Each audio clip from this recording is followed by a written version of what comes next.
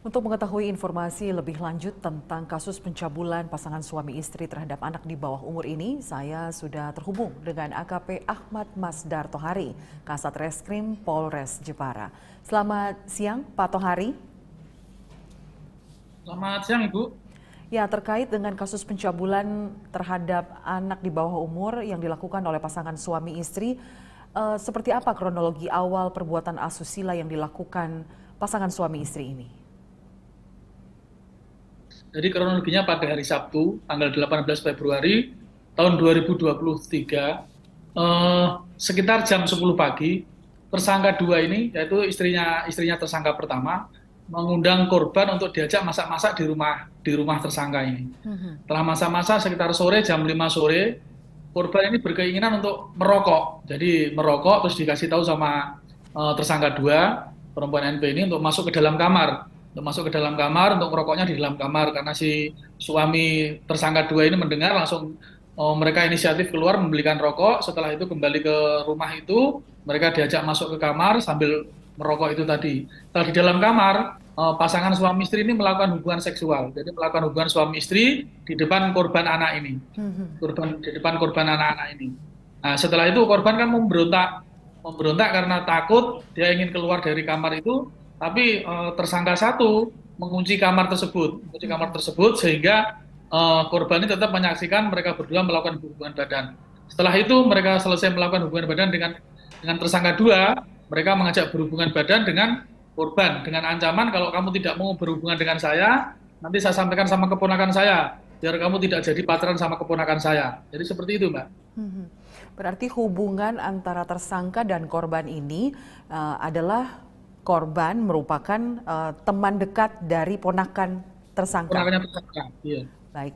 Uh, dan dalam tayangan berita sebelumnya disebutkan bahwa tidak hanya terjadi di rumah tersangka dan juga kegiatan ataupun tindakan asusila ini terjadi di hotel dan sudah beberapa kali. Ancaman benar, benar. ancaman seperti apa yang sangat ditakuti oleh korban sehingga uh, perbuatan ini terjadi beberapa kali. Ya, jadi ancamannya juga sama dengan dengan waktu pertama kali berbuat itu. Jadi kalau kamu tidak mau, saya laporkan sama keponakan saya, biar hubunganmu putus sama keponakan saya, biar keponakan saya tidak mau sama kamu. Dan saya akan menyampaikan hubungan kita berdua ini. Jadi mereka mereka selalu ancamannya dengan begitu, Mbak. Jadi sampai mereka berulang-ulang di uh, ada lima kali itu, tapi uh, dalam hubungan badan lima kali ini tanpa pengetahuan istrinya. Jadi yang istrinya tahu itu pada saat hubungan pertama saja. Baik.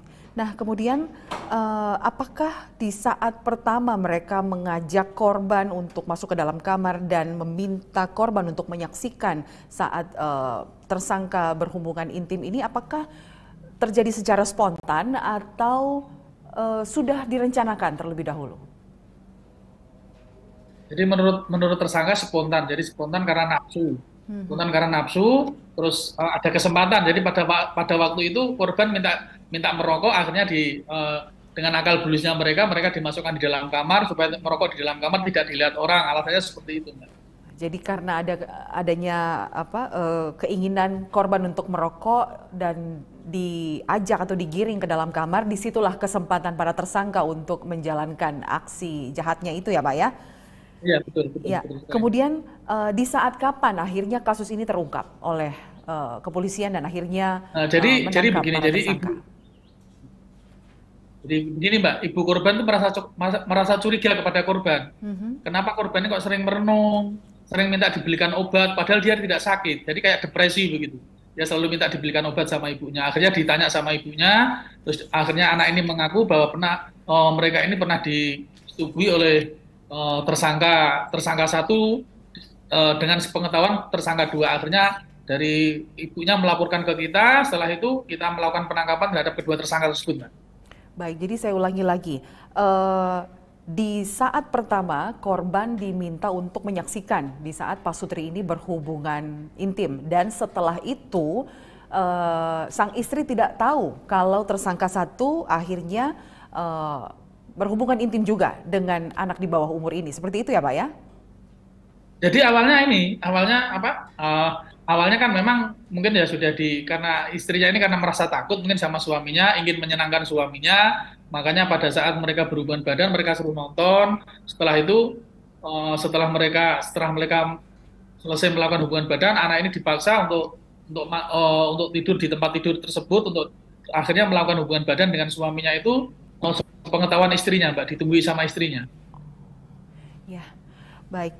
Uh, belajar dari kasus ini ataupun dari kasus ini apa imbauan polisi kepada masyarakat khususnya anak muda dan juga orang tua agar tidak terjadi kasus seperti ini atau bahkan kepada masyarakat sehingga bisa melaporkan kejanggalan-kejanggalan seperti ini agar tidak terjadi uh, hingga beberapa kali baru akhirnya bisa terungkap dan dibongkar oleh polisi. Ya, terima kasih. Jadi kami dari aparat kepolisian uh, menghimbau kepada masyarakat khususnya warga Jepara agar selalu berhati-hati dengan rayuan orang, walaupun itu tetangga kita sendiri atau orang terdekat kita sendiri.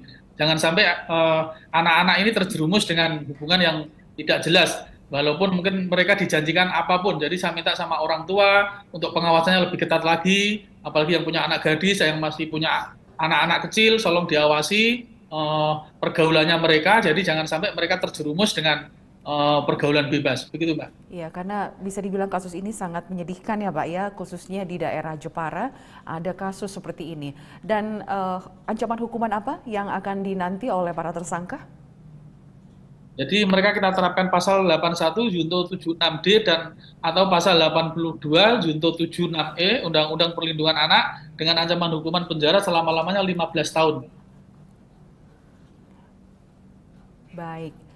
Baik kasus ini semoga tidak terjadi baik di Jepara maupun di daerah mana pun di Indonesia. Baik, terima kasih AKP Ahmad Masdar Tohari, Kasat Reskrim Polres Jepara, sudah bersama kami di Presisi Siang. Terima kasih, salam presisi.